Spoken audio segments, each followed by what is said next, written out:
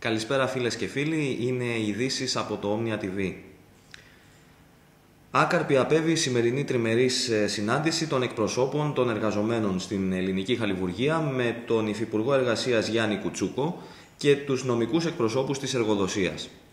Στην ε, τριμερή συνάντηση, η οποία πραγματοποιήθηκε στο Υπουργείο Εργασίας, ο Νίκος Μάνεσης ε, δέχτηκε την λειτουργία του εργοστασίου στο 8ωρο, αλλά όχι την επαναπρόσληψη των 50 απολυμένων. Το Σωματείο απέρριψε την πρόταση και έτσι η απεργία συνεχίζεται. Σε τρεις μήνες και 15 ημέρες φυλάκιση με αναστολή καταδικάστηκαν ε, δύο από τους 39 άνδρες του λιμενικού σώματος που κατηγορούνταν ότι κατά την παρέλαση της 25ης Μαρτίου του 2010 παραβίασαν τον αντιρατσιστικό νόμο φωνάζοντας ρατσιστικά συνθήματα.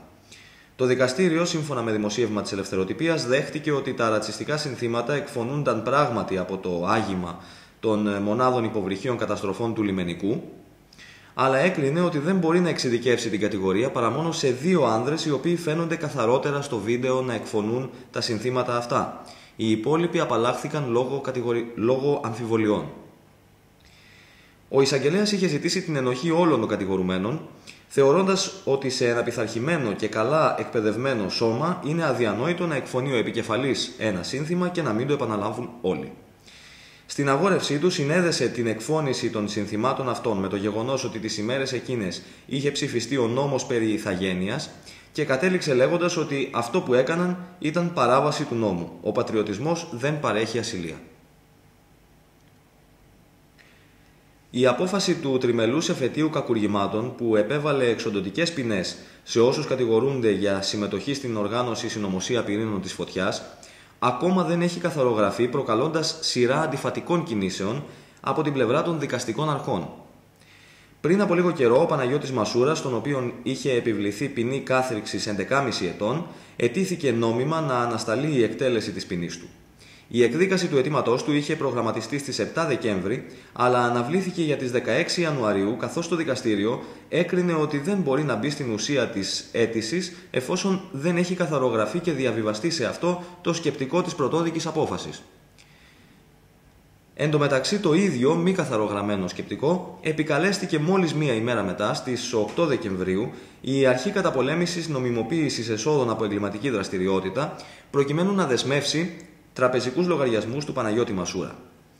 Καθώς η αρχή έχει την υπερεξουσία να δεσμεύσει περιουσιακά στοιχεία και να καταχωρίζει κάθε πολίτη σε κατάλογο προσώπων σχετιζομένων με την τρομοκρατία. Οι σφαίρες και τα δακρυγόνα δεν έκαμψαν ούτε χθες τους Αιγύπτιους διαδηλωτές που παρέμειναν για πέμπτη συνεχή ημέρα στην πλατεία Ταχρήρ, ζητώντας την άμεση αποχώρηση του στρατού από την εξουσία. Ισχυρά πυρά ακούγονταν στην πλατεία τα ξημερώματα της Τρίτης, όπου εκατοντάδες διαδηλωτές παρέμεναν παρά τις διαδοχικές επιχειρήσεις του Αιγυπτιακού στρατού με στόχο την εκένωση του χώρου. Εκατοντάδες μέλη των δυνάμεων ασφαλείας και στρατιώτες εισήλθαν στην πλατεία και άρχισαν να πυροβολούν. Κυνήγησαν τους διαδηλωτές και έκαψαν τα πάντα στο πέρασμά τους, ανάμεσά τους ιατρικές προμήθειες και κουβέρτες, όπως είπε διαδηλωτής. Το Ανώτατο Συμβούλιο των Ενόπλων Δυνάμεων επέριψε νωρίτερα στους διαδηλωτές την ευθύνη για τη βία. Υποστήριξε ότι ο στρατός αναγκάστηκε να επέμβει για να προστατέψει τη δημόσια περιουσία.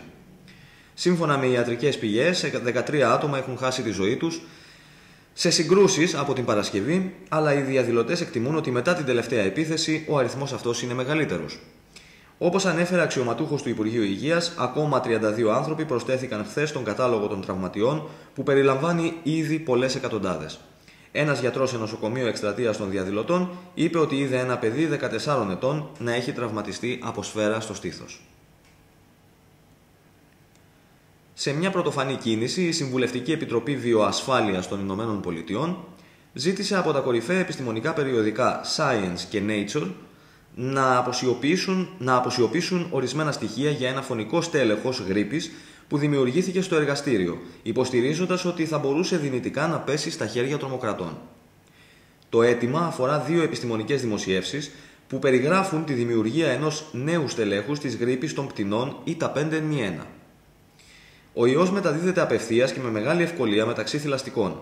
Τα στελέχη του ΙΤΑ 5 1 που απαντώνται σήμερα στη φύση μεταδίδονται στον άνθρωπο σχεδόν αποκλειστικά μέσω της επαφής με μολυσμένα πτηνά. Η διεύθυνση του Science δήλωσε ότι η τελική απόφαση θα εξαρτηθεί από τα μέτρα που θα λάβει η Αμερικανική κυβέρνηση, προκειμένου να εγγυηθεί ότι οι πληροφορίες που τυχόν θα παραληφθούν από τις δημοσιεύσεις θα, θα παραμείνουν διαθέσιμες για τους ενδιαφερόμενους ερευνητές. Αυτές ήταν οι ειδήσεις από το Omnia TV. Σας ευχαριστούμε που ήμασταν μαζί σας. Καλό σας βράδυ.